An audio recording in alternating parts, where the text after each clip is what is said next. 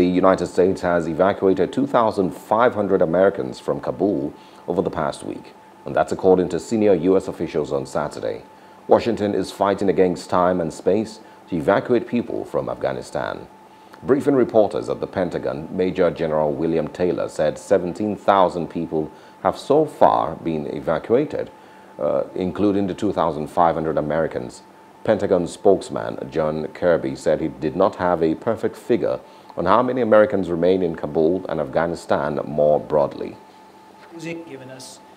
We have said from the very beginning of this um, uh, that we're going to try to do this in a safe and orderly way, and that means making sure that nobody gets hurt uh, to the maximum extent possible.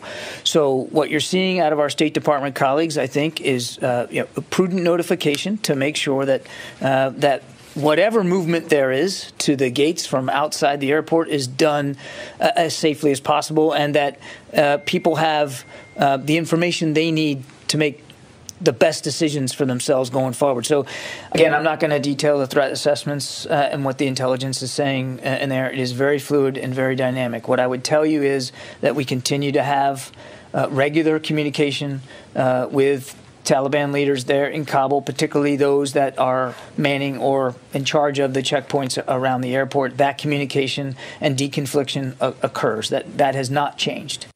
Hello. Hope you enjoyed the news. Please do subscribe to our YouTube channel and don't forget to hit the notification button so you get notified about fresh news updates.